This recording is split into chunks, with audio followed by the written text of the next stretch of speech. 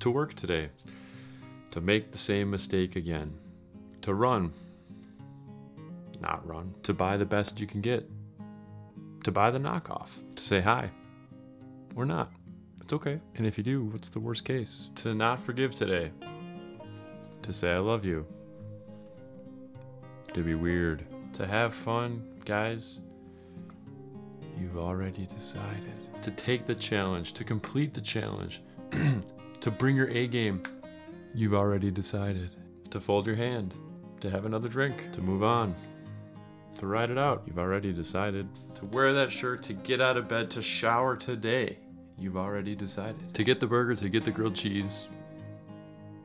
You've already decided to make the wrong decision, to bring your A game, to get up to pee. You've already decided. To show up late, to get the dog, to get the cat, to send the email, to send the text, to send whatever message that is the way that you send messages when you're watching this in many years from now. You've already decided. To take the trip, to be helpful, to be patient, to do something, to do nothing, to make an offer, to let it go, to diversify, to set it up, to take it down, to pay for it now, to pay for it later, to jump in the cold water, to say, yeah, sure, thanks, to get rid of it now or to keep it mm, a while longer, to change your name, to change your game, to to diversify, to specialize, to rhyme a few more lines.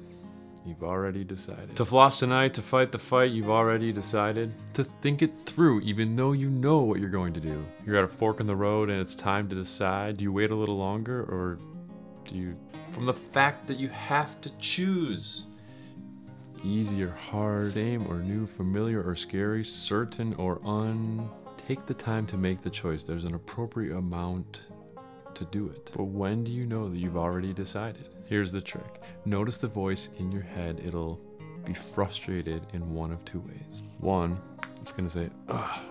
I'm disappointed in this decision. Or that voice is going to say, Oh, I'm about to do something that's scary and unknown and that's not easy and is, is, is, is uncertain and is going to take discipline and it's going to require me to have faith in myself. And, oh, this is to suck. But either way, you've already decided.